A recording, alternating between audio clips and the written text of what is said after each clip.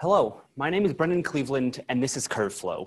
In this presentation, I'm going to go in depth to a problem I found with difficulty in games and my solution to fix it. I'll go over a full game I built to demonstrate my solution, and then finally talk about what I learned. But first, I need to explain flow. ZenRhino defines flow as the area between these two lines on a graph of difficulty and player skill. Flow travels along a wave between these, providing moments of high and low tension to keep a player engaged. However, if difficulty breaks out of these lines, a player will lose interest in your game. If a challenge is too difficult and chance of success is impossible, or if a challenge is too easy and chance of failure is impossible, the player is no longer interested in your game. So how do we fix this? Many games like to implement a difficulty selection screen, such as this one.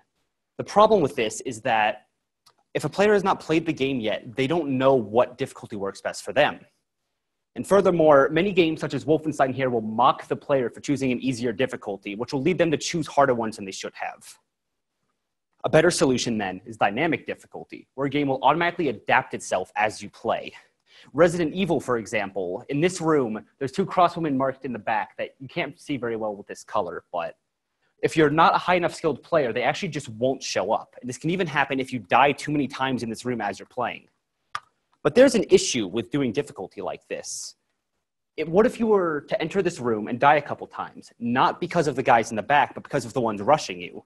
In that case, removing the crossbowmen would not change how you play the game. The issue with dynamic difficulty is that, is that it assumes all players struggle with the same things.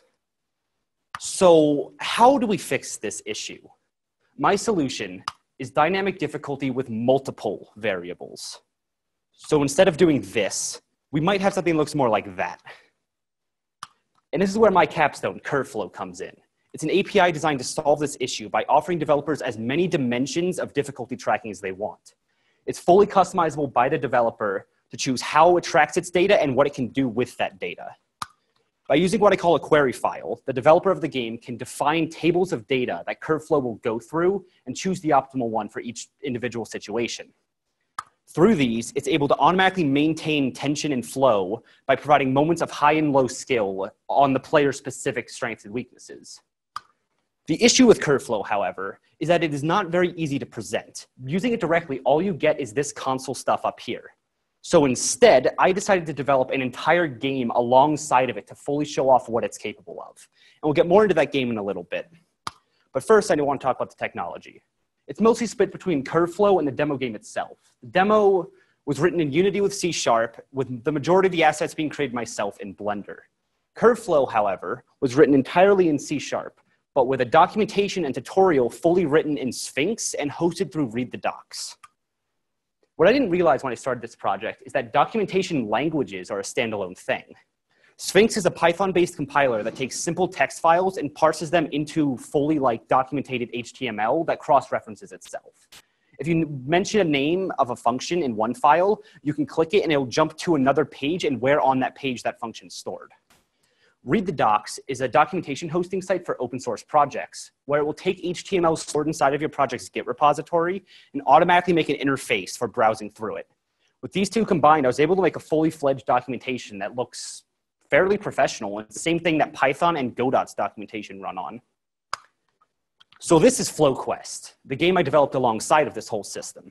It's a top-down shooter where you play as a wizard trying to get out of a dungeon. For simplicity's sake, I only decided to use two difficulty tracking variables, which is the grab skill and the dodge skill listed down there. And I'll get more into detail on what exactly CurveFlow controls on it later on. But first, I just want like to show some basic video of playing the game it, functions like your standard top-down shooter. You can move around, fire attacks. You've got mana, stuff like that. But overall, the gameplay itself is not too fancy. It's more of a means for me to show off this project. So the first thing that CurveFlow controls is called the grab skill, which tracks how well you're able to use this grab move to get projectiles out of the air. Once you do this, you're able to either throw them back or consume them to regain your mana as you start to improve in this skill, the enemies in the game, all of the ranged ones will start to be faster and they more of a challenge for you. The dodge skill is how well you're able to dodge attacks using this dash move. Uh, you can also use it to get out of the way projectiles or just to move faster. And as you improve, the melee enemies will automatically start to move and attack faster towards you. So this is a list of everything that CurveFlow controls in FlowQuest. The The main thing it does is that it builds the map procedurally as the game goes. It's built it on a tile-based system with each tile being selected separately from a query in the CurveFlow. Once all the tiles have been beaten, a boss fight begins, where first it will select the boss it thinks is best, and then it will build a custom set of minions where each minion takes into account the other ones that have already been selected to get the best possible, like, four minions. There's a lot of information that goes into every single tile selected. This is what all of the tiles in the dungeon are going through each time one is selected. It may seem like that's a lot of information to parse, but in an extreme case, I was able to go generate almost 400 tiles in less than a 20th of a millisecond, 20th of a second, with each individual tile taking less than a tenth of a millisecond, not including the time it took Unity to actually process all of this. Here are the graphs of two different players as they played through the game. Notice that player A has a much higher grab skill by the end, whereas player B has a higher dodge skill. Through this, it meant that their first boss fights looked completely different, with a different main boss and all of the minions being separate as well. I learned a lot from this whole process, honestly. On the CurveFlow side, I didn't plan well enough towards the start. There was a major feature I was working on that I later realized mathematically wouldn't help me, and I had to end up cutting it, losing a lot of code. I also wrote the documentation too early. Um, when I actually decided to merge the two projects together, I found some issues that I didn't notice in a debug environment, and I had to not only rewrite code, but also the documentation of how that code worked.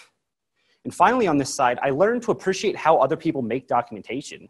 It's not really something you think about that often, but really looking into the gritty details behind it, it's a lot of work goes into it. On the FlowQuest side, if I'm ever working with an API again in the future, I'll be sure to implement it a lot earlier in the game's process because I ran into a lot of issues with how I was building the world by not doing it early. I actually never wrote a game design document for FlowQuest. I didn't think I'd need one for a project of this scale, but I was very wrong about that. Because there was a one small feature I overlooked in how the world was being built, I had to scrap over seven hours of enemy AI code just to fix it. And the last thing is I over abstracted too much. FlowQuest actually has support for unlocking new spells and leveling up your current ones. But with the current state of the game, none of those features go used. And if I put that time towards more visual aspects, it would have been better. Moving forward, I just want to polish up what I have left. CurveFlow currently lacks any debugging tools, and for another developer to use it, I need to implement those. And FlowQuest needs more content.